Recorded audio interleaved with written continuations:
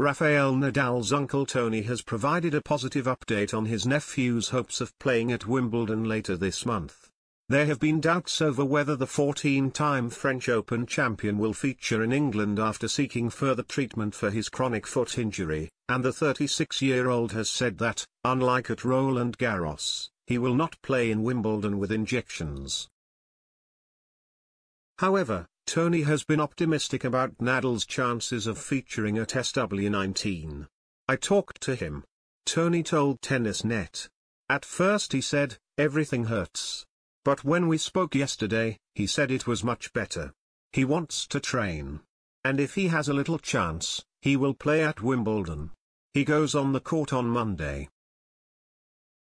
Nadal will attempt to play in the Mallorca Open in preparation for Wimbledon, as he will test out whether he can compete despite suffering from Müller-Weiss syndrome, a rare degenerative condition that affects bones in the feet.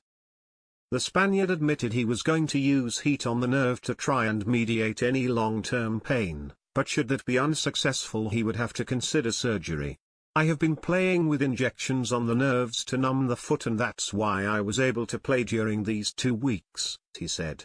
I have no feeling in my foot, because my doctor was able to put anesthetic injections on the nerves. That takes out the feeling on my foot.